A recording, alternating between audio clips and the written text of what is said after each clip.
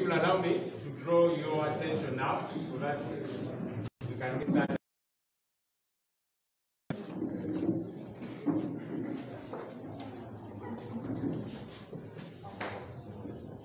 I request everybody to find a seat so that uh, we are good to go.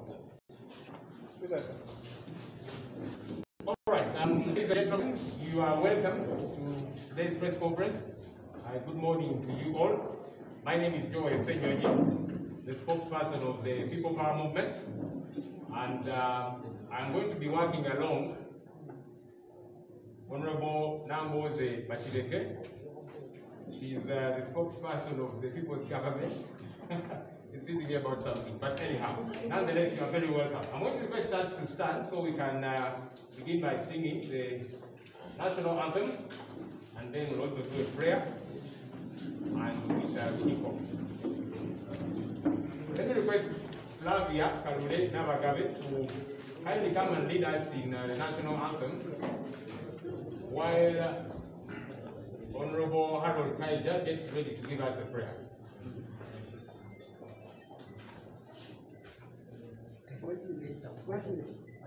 Kaija?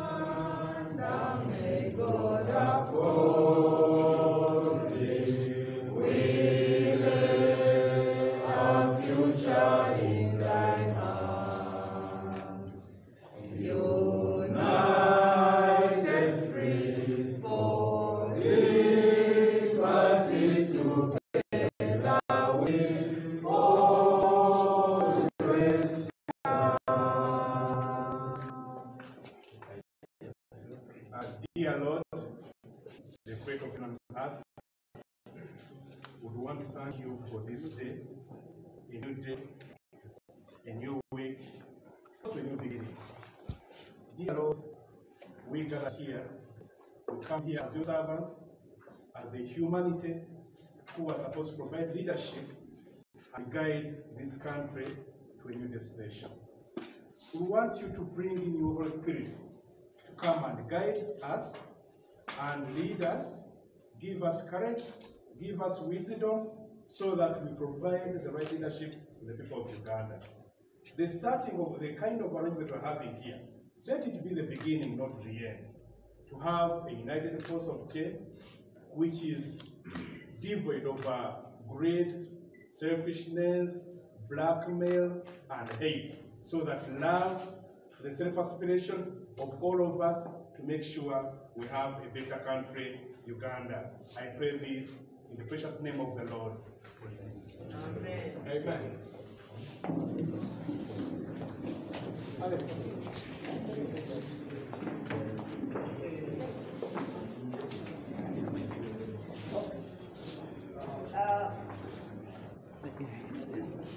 uh, on this 15th day of June 2020, we are gathered here for a press conference that will be led by our press principals, Honorable Chakulani Senator and Dr. Samuel Savesti, with our colleagues, the leaders of the different political entities in Uganda. And we are here as a united force against dictatorship, injustice, inequality and oppression, plus bad governance for the greater good of Uganda, united against both political and health COVID-19. We are taking a step forward to advance what we have always been, united against the misrule, maybe this time make it more formal and focused, and failing is not one of our options. Ladies and gentlemen, today me and my young uh, Honorable Ssenyonyi,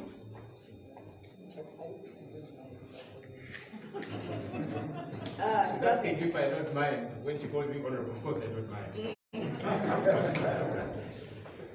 we shall we shall lead just because we are part of the pressmen. And uh, we are going to say less. I just want to request him to take us through the program and then we shall call on the person who is supposed to take us on the, at the next level come here and brief this meeting. Thank you. All right, thank you, Honorable. You know, for a very long time, Ugandans have been saying, so the forces of change, you are all desirous of change, you want to see a better country. Why is it difficult for you to work together? And uh, today's press conference is an answer to that question, that it's actually very possible for us to unite against injustice, to unite against bad governance, to unite against oppression, to unite against the dictatorship. And uh, we, we have begun, and we are sending that message to Ugandans out there that if, as leaders, we can be able to do this and say, look, we all want a new Uganda, we all want a better country. Do the same out there, wherever it is that you are, and that's why we are here. I'll just quickly introduce, um, especially the leaders that we have here. Others will keep going on along the way, so I'll introduce those at the front, and then we'll get started. Uh, I see we have with us the Honorable John Baptist Nambeshe, all the way from Eastern Uganda. You're welcome, sir. We have with us uh, Ambassador Wasswa Biriggwa, is the chairman of uh, the FDC. You're welcome, sir. We have with us uh, Dr. Lina Zedriga Waru. She's the deputy principal of the People Power Movement. You're welcome, madam. And then I'll cross over together. Uh, we have party leaders. I see Power, uh, Honorable Patrick Oboi Amuriat is the FDC president. Welcome. It's okay to clap with these people. We have with us John Ken, the man, uh, Honorable Chairman. CP. Yes. There you are. I don't know whether he's very conservative, but yes, he's a, he's a good man. We have with us uh, the Honorable Asman Basalirwa. He's the president of JEEMA, and he is also the president of IPOD. We have uh, with us the Right Honorable Erias Lukwago. He's the Lord Mayor, Kampala Lord Mayor. Uh, Sebo, thank you for coming. We are sure you tujja kujuga. And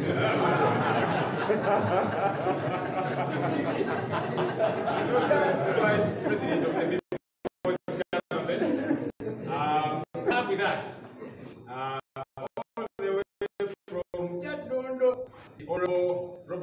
Is the principal of the program. And last but certainly not least, we have our elder, uh, retired Colonel Dr. Kizza Besigye, the president of the People's Government. So we are going to have um, a document read to us, clearly adumbrating what it is that we are saying, what we want to communicate, what it is that we are uniting about, and, and the clarion call that we are going to make to Ugandans out there. It's going to be read by uh, two people, and we invite the first reader to read the first half of that document. Uh, I think they'll come together. I'm sure they are comfortable with that. The Honorable Asmani Basalirwa, together with uh, the Lord Mayor. You're welcome.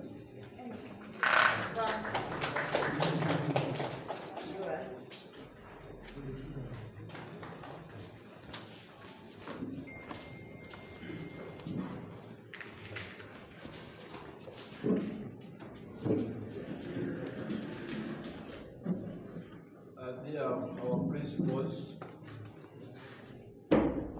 distinguished the presidents, the honorable members of parliament, Joel, when you were introducing, you left out members of parliament. Oh, okay. I have recognized them. Ladies and gentlemen, uh, to, with us today is a communique by the Joint Forces of Change on what Ugandans must do to respond to the regime's excesses in the face of the coronavirus pandemic. I have to mention from the onset that it's a fairly uh, detailed statement that requires a lot of patience and internalization. Countrymen and women, as you are aware, on March 11, 2020, the World Health Organization declared the outbreak of the novel coronavirus a pandemic. The World Health Organization had declared COVID-19 a global emergency on January 30th, 2020. The first COVID-19 case was reported in Uganda on March 21st, prompting the regime to respond by closing Uganda's borders as well as their space. Later on, a national lockdown was imposed on the whole country. These steps were necessary, although some of them came in rather late, leading to considerable damage. Similarly, it is important to note that the lockdown affected mostly ordinary Ugandans with fall outside, who fall outside the power structure. Those close to the regime continue to operate their businesses, drive their vehicles, and travel in and out of the country. Therefore, from the very start, the regime's response to COVID-19 was discriminatory. In addition to this, the of the regime were largely outside the law, whereas the level of restrictions put in place were those ordinarily imposed under a state of emergency, the regime did not stipulate, did not follow the stipulated constitutional procedure under Article 110 of the Constitution of Uganda to declare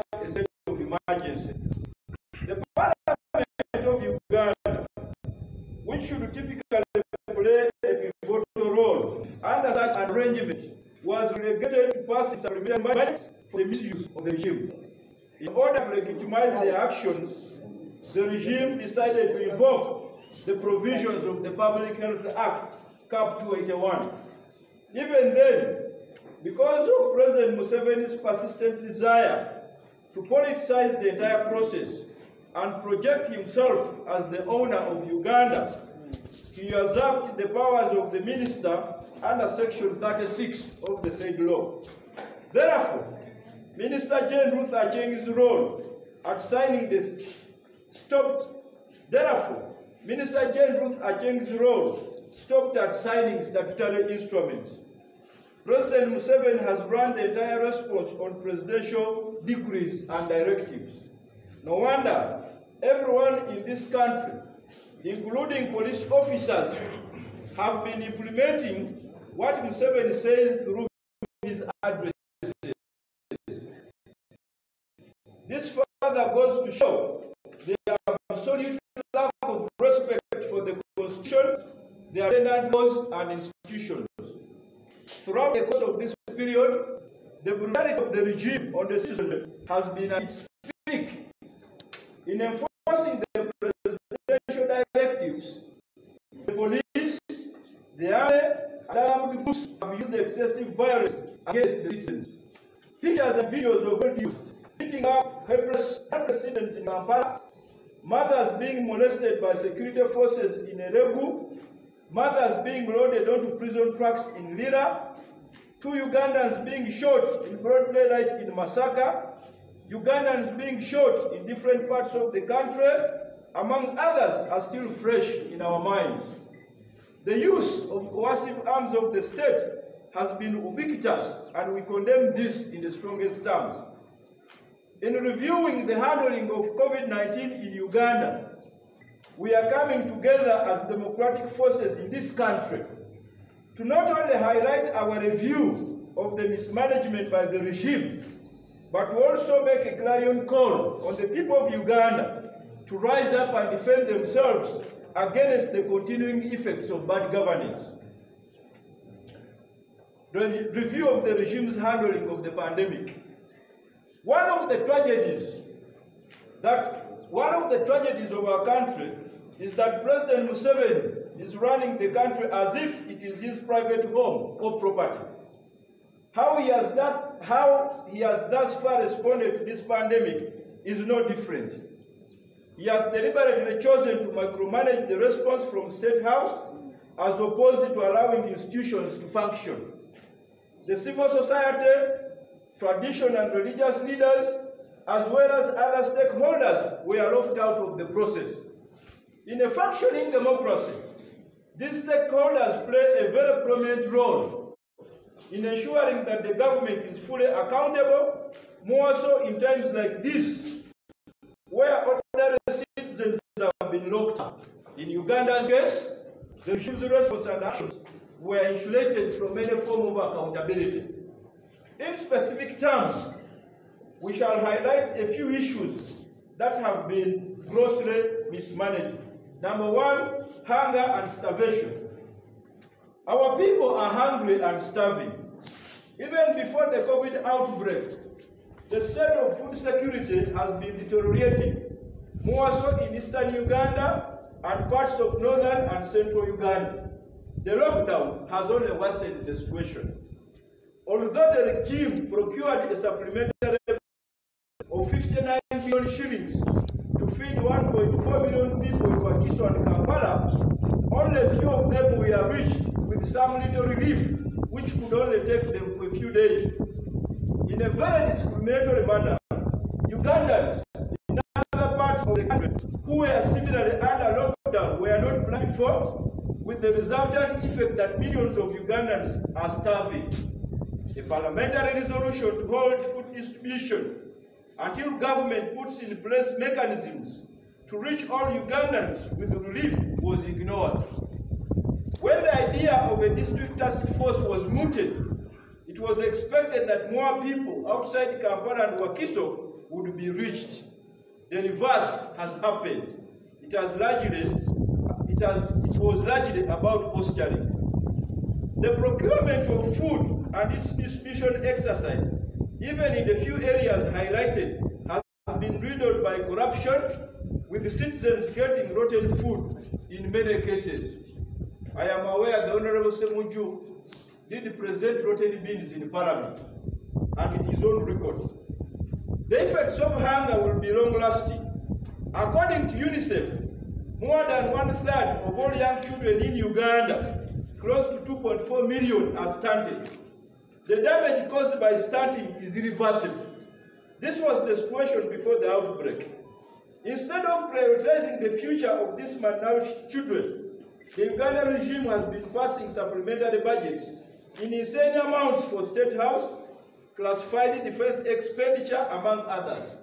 As it normally happens, this money is going to be used for patronage and to procure tools of violence. The Ugandan citizen is on her own. Number two, health. The nature of public health crisis we are faced with necessitates that our analysis begins with the health response. The pandemic is being confronted by an underfunded health sector. Regional hospitals, which are designated treatment centers, were audited in 2018 and found to be under-equipped and lacking senior medical staff. We share in the public outrage that has been stirred by the wasteful budgeting and ensure and expenditure that has generally characterized the COVID response. Navy District, for instance, is emblematic of this state of affairs. One of the 165 million disbursed, 50% was spent on allowances, 20% on staff welfare, and the remainder on fuel and car tubes. Line institutions such as the Uganda Virus Research Institute have chronically been underfunded and understaffed. One of the 9 billion shillings allocated to the institute in the financial year 2019-2020, only 1 billion was disbursed. This means that the preparedness for the crisis, foreknowledge of which was available since December 2019, was already fated to get off on a weak start. And surprisingly, on May 12th, Uganda Nurses and Midwives Union warned of industrial action after national medical stores delivered drugs and other supplies without personal protective equipment. The union acted upon their warning and began industrial action on May 20th for lack of allowances and protective equipment. Reports of unpaid medical allowances and even salaries from March through May have circulated in the media. Notwithstanding a presidential directive to provide masks to all Ugandans above the age of six, the Minister of Health has recently told Parliament that they need a supplementary budget to cover free masks. Given that the figures from April 14 indicate that interstate truck drivers are the primary conduit of the disease, the response to this threat was slow. The presidential directive of May 10 quarantined the trucks at points of entry. Pending test results was only implemented on May the 21st after 158 have been allowed entry. These results are now showing COVID-19 cases among their contacts as well as community cases. Level, inability of the East African Community leadership to agree upon and implement a common approach on testing, treating and quarantining further stifled containment.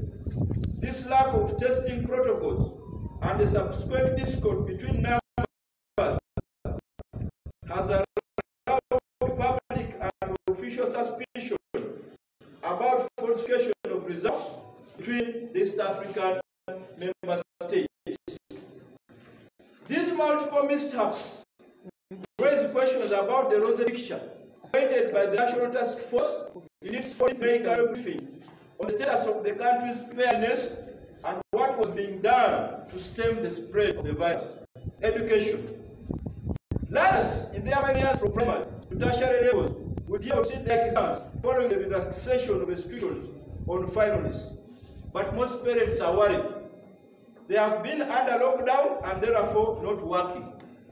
Most of them will not afford school fees, even other scholastic materials such as geometry sets. The government is not saying anything about assisting them in this regard. The failure to distribute complete sets of learning materials to all learners countrywide will adversely impact the learning outcomes expected at every stage of the curriculum. Reports that learning materials are being sold hmm. have also tainted the integrity of the process. Relatedly, the failure to deliver e-learning as well as the inability to distribute materials for printing in districts, despite the expenditure on the national backbone infrastructure, is an indictment on the management of education at the technical and political levels. Information from the Auditor General shows that about 1 billion shillings was spent on 78 unused internet connections. Only 445 out of the 20,000 connections are in use. This, in this vital service, the taxpayer and our learners have been shortchanged. Transport. Millions of boda riders in Kampala and elsewhere in the country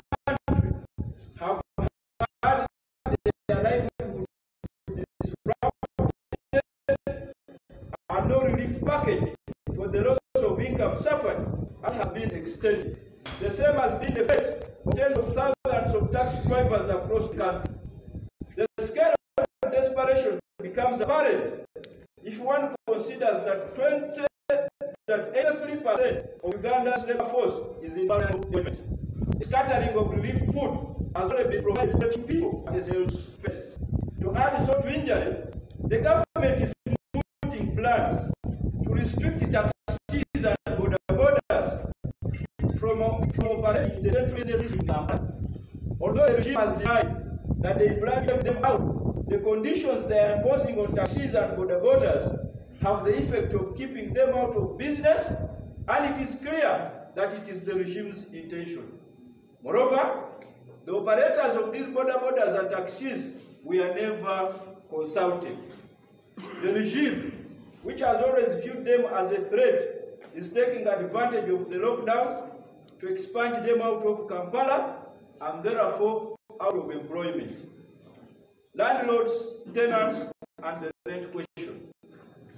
As forces of change,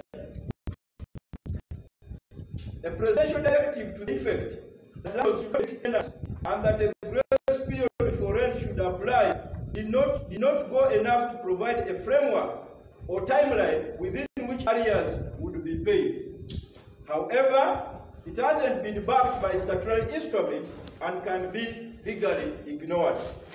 There are already reports of eviction. Many landlords themselves owe banks and therefore risk foreclosure in the post-lockdown era. The absence of a tangible intervention in this regard spells a chaotic post-lockdown environment. Water, electricity, and other essential services. There has been no waiver or reduction of water or electricity bills, even though these are vital services in this crisis. Although the government indicated that bills wouldn't be paid while the lockdown subsists, our poor and vulnerable people who have been under lockdown will not, will not be able to afford these charges even when the lockdown is eventually lifted. The employment situation and bank loans. Despite the government making a statement requiring employers not to dismiss employees, many Ugandans have lost jobs in this period. Employers have bypassed the directive by the Minister of Labour by resorting to constructive forms of dismissal, such as suspensions. Others have used pay cuts. The government has not come to their rescue. Similarly, the illegal presidential directive asking banks and lending institutions not to foreclose on loans has been ignored by many banks and other financial institutions to the chagrin of these poor people. Farmers. Poor smallholders in the agricultural industry were left to their own, despite reduced demand for their produce. This is even when smallholder farmers and their dependents form 70 to 80 percent of the population. Small businesses and social protection. A vast majority of Ugandans are employed in the informal sector. Ugandans who largely survive on small businesses are effectively out of work. Their dependents out of work with their dependents.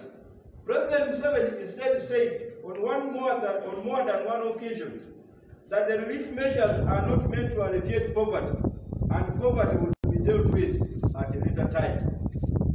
In addition, demands by many Ugandans have those with NSS savings get part of their money have been roundly rejected by the regime.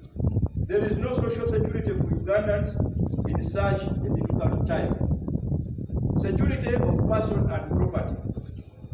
The enforcement of COVID-19 related restrictions has been aided by the surge in brutality by law enforcement agencies with multiple reports of beatings, unlawful detention, and targeted offenses against women.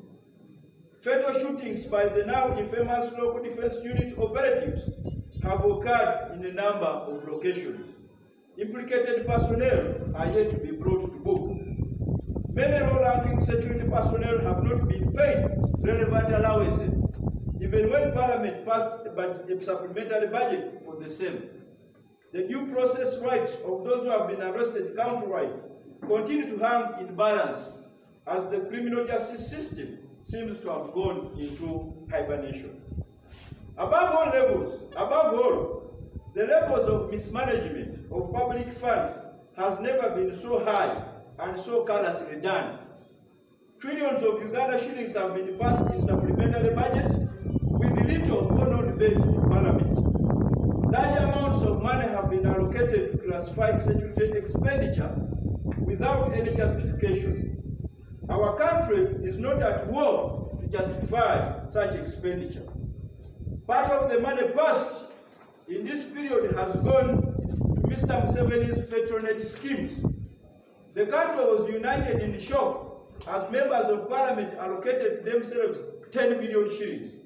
When the nation protested, Mr. Museveni commanded the MPs to return the money, but went ahead to pay NRM MPs 40 million shillings each. As Ugandans at home were stuck and those abroad unable to return, the political class aligned to the, to the regime were in feast mode. The regime has not only been on a spending spree, they have also been on a begging spree. Aside from the 600 million euros borrowed from the European Union on the 30th of January, the regime went on to borrow 491 million US dollars from the IMF on the 7th of May, ostensibly deal with some balance of payment shortfalls. With the endemic levels of corruption by the, by the regime, the citizens already know where this money will go. Suddenly, it is the people of Uganda who must pay back this money. The regime is not eager to account for the colossal sums of money obtained through donations and grants to deal with the effects of the pandemic. These include 830 million euros from the Irish Embassy, 30 million euros from the European Union, and more than 15 million US dollars from the US mission, 316 US dollars from UN agencies, 2 million US dollars from the Danish embassy, and 100 million dollars from IGAD, among others. The COVID task force was also transformed into a begging entity instead of providing strategic direction to the country in this period. They have already raised over 27 billion shillings out of their target of 170 billion shillings. They were not ashamed to propose that struggling Ugandans surrender 10,000 shillings per month. In this regard, we propose the forward to be led by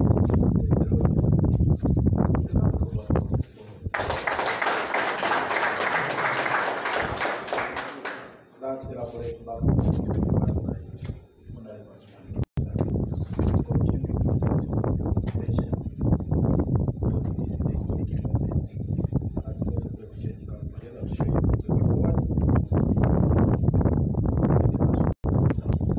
The way forward. With this prevailing situation and circumstances, the citizens of Uganda are being called into action. The citizens are poor, hungry, and desperate. The regime is holding on to incredible amounts of money, which must be put to use to improve the lives of our people during and in the post-COVID period.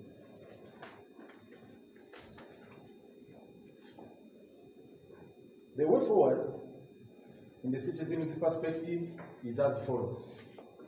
Number one, there is established an institution to guide the country into recovering from the damage. There is established an institution to guide the country into recovering from the damage caused by the COVID-19 pandemic and the, the attendant mismanagement by the regime. The institution, by whatever name it may be called, must be representative in the sense that all stakeholders should be represented. These stakeholders may include concerned citizens, uh, uh, government agencies, religious institutions, traditional institutions, political formations across the divide, representatives of citizens working in the informal sector, the business community, etc. The first assignment of the body must be to do a comprehensive audit of the regime's response to the COVID-19 pandemic and ensure that there is accountability and probity for money so far spent. The body must be autonomous and non-partisan in the proper sense of the word. You must underline that. Two, all vulnerable and poor families in all villages of Uganda should get food ready. Over 80 million Ugandans live in abject poverty and they, continue, they have lived in abject poverty, I mean abject poverty before, during, and after COVID. Today, the situation has worsened. As we have demonstrated above in the elaborate background given by my brother here, the regime has enough resources at its disposal to ensure that citizens in all districts who are poor and vulnerable receive food from government. The food relief should be sufficient in terms of quantities and quality. We estimate that every individual should get at least half a kilogram of posho and beans per day. That should be the ration, at least for the bare minimum. The children who risk being further mal- malnourished should be given nutritious food. That includes the mothers who are feeding their children. Three, in the alternative to point two above, and in, and in order to ensure transparency, vulnerable Ugandans should receive direct cash transfers from government as being done in other countries like Kenya. This money should be given to these struggling Ugandans directly as the mechanism may be worked out. The organs, rather, this organ envisaged in this particular point uh, above should involve designing the mode of delivery of these funds so as to reduce corruption and other bills. I beg to this. The organ envisaged in point number one, that non-partisan body should be involved in designing the mode of delivery of these foodstuffs, rather of these funds, so that, so that we reduce corruption and other ills. We propose that each vulnerable family receive a minimum of 100,000 Uganda shillings per week. Number four. Regarding education, the government must ensure that private school owners are sub, sub, subsidized so that they do not charge parents any monies for the upcoming term. So we demand, I mean, we insist there must be subsidies. Likewise, government aided schools must not charge parents for school fees for the upcoming term. Universities should also be assisted so that students do not have to pay tuition to complete the semester which was disrupted as a result of the lockdown. The justification is that parents have not been working and therefore cannot afford that exorbitant cost at, at this particular moment. Number five, fees for essential services such as electricity and water should be waived for a period of six months. Government, government, government, ex, government extend the payment. No, government should extend the payment period for these services until the lockdown is lifted. These bills have now accumulated for most Ugandans, and it will take a considerable period of time for many Ugandans to afford this cost. Therefore, water and the electricity bills for the period beginning March to September 2020 should be completely waived.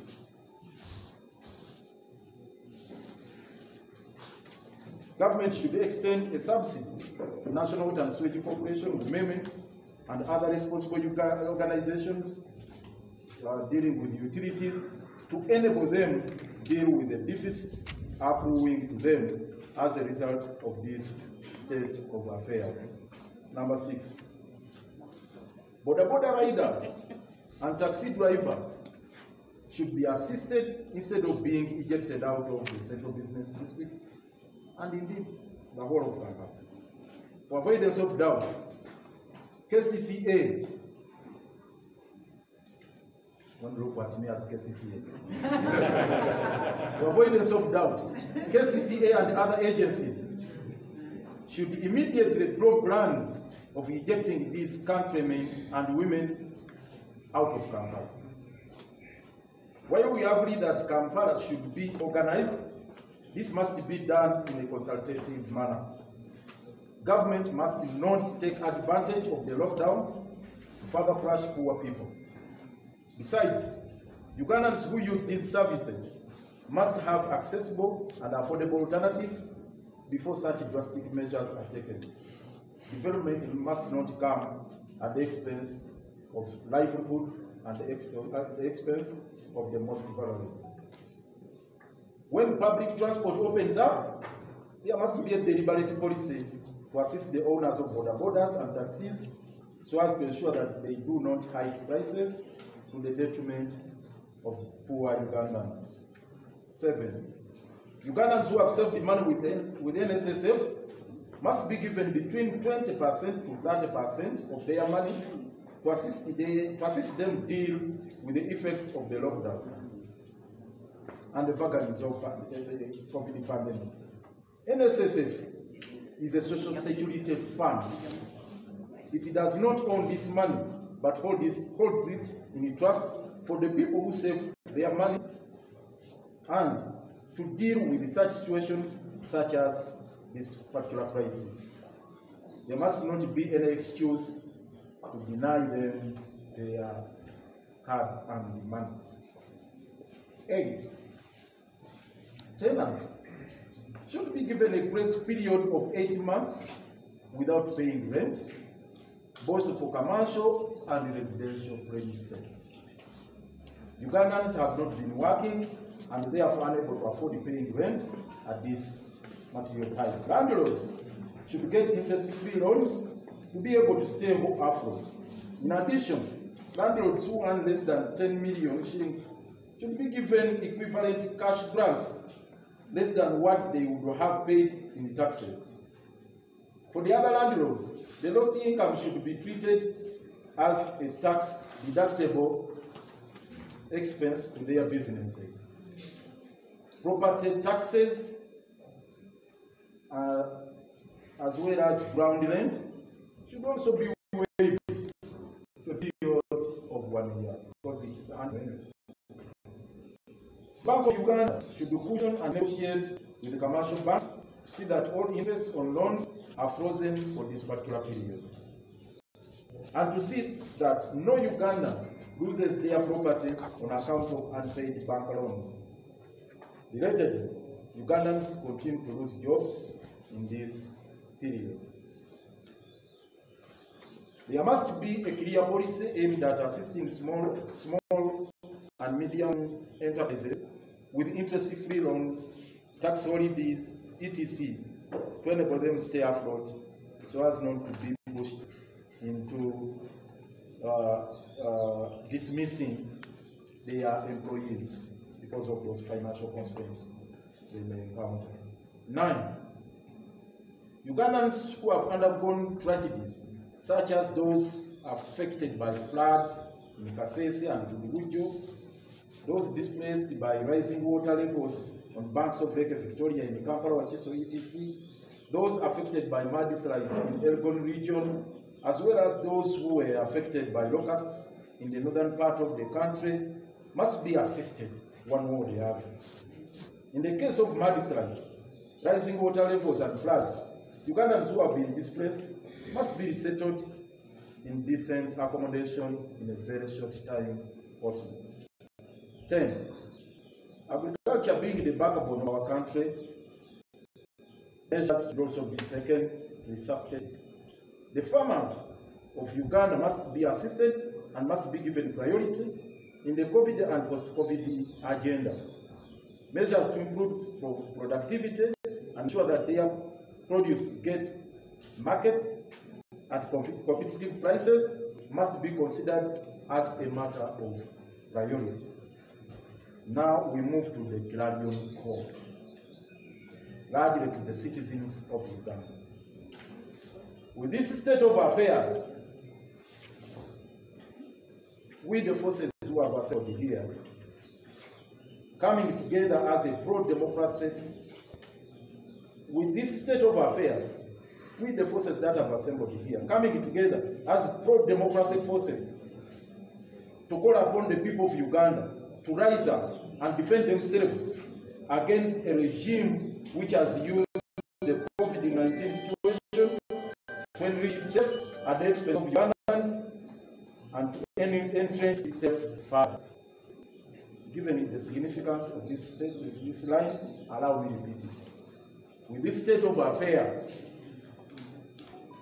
we, the forces that have assembled we are coming together as a pro-democracy force, do call upon the people of Uganda to rise up and defend themselves against a regime which has used the COVID-19 situation to enrich itself at the expense of all Ugandans and to entrench itself further in power.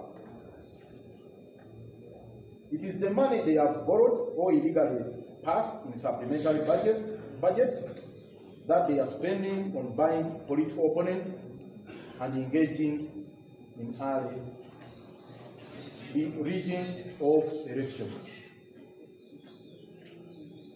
We are now therefore announcing that we shall lead Uganda in a range of non-violent activities aimed at changing the status quo, but most importantly, ensuring that the above stipulated way forward is met. These activities will begin with a campaign dubbed Are You There? Raise your voice. Let's hear you out. In Uganda. Jemuli. Mwimise amaloboozi tubawulire. Rise up and defend your rights. Assert yourself. Tunywere twesibe bbiri. Tulumbe. We shall request all Ugandans to hit anything that makes noise so that you are heard. Whether it's a saucepan, blowing a whistle, hooting with a boda boda or taxi or anything that can make a noise, even if it is your shoe, do it. For those who feel hungry and want food, we shall request you to bang your empty saucepans with a fork, knife, or a spoon in front of your house or other dwelling places. The citizens will raise their voices in unison and go on to carry out other violent activities until their rights are restored. Not violent. Did I say violent? Was it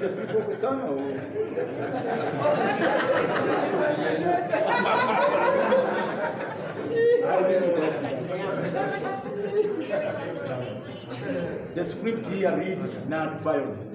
Quote me right. The citizens will raise their voices in unison and go on to carry out other non-violent activities until their rights are restored, are respected, and observed, and given the sanctity they deserve. This activity shall begin tomorrow, Tuesday, the 16th of June. So we are, we are saying with effect from tomorrow, you should swing into action and say, Muriwa. Let me repeat it here. Je muli. Mwimuse amaloboozi tubawulire. We want to hear you out. Say enough is enough. We must confront and take on the bull by its horns. For God and my country. The United Forces, together we shall overcome with the United Forces of Change. May God bless you and I thank you.